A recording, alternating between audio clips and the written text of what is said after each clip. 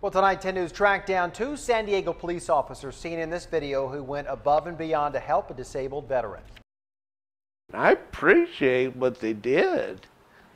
Like I said, they went out of their way. How many people would stop? 10 News reporter Preston Phillips joins us now. And Preston, they pushed that guy nearly two miles whenever his scooter broke down.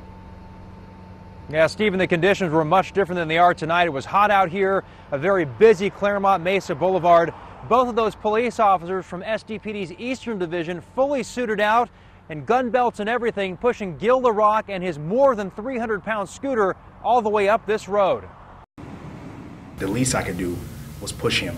Um, put, you know, that's the least I can do. He's, he's sacrificed and given so much to this country. This wasn't what Vietnam veteran Gil LaRock was expecting to happen when his power scooter stopped working on a busy Clairemont Mesa Boulevard the day before Memorial Day. You wouldn't expect them to do something like that, push you all the way home.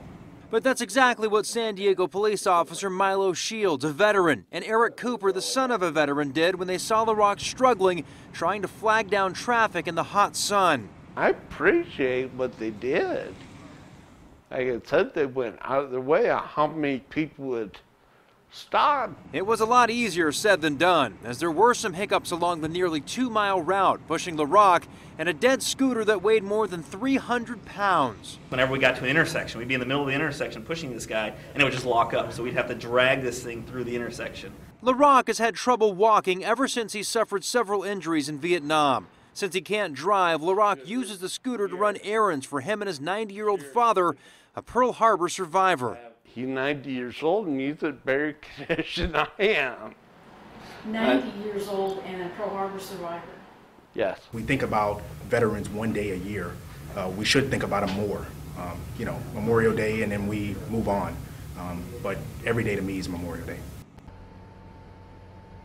And once they got LaRock home, the SDPD sergeant who was actually shooting them, pushing the uh, scooter up the street with his cell phone out of his patrol car, took them back to their patrol car. Tonight, LaRock's scooter is in the shop getting fixed. He expects to get back sometime on Friday. Tonight, reporting live from Serra Mesa, Preston Phillips, 10 News.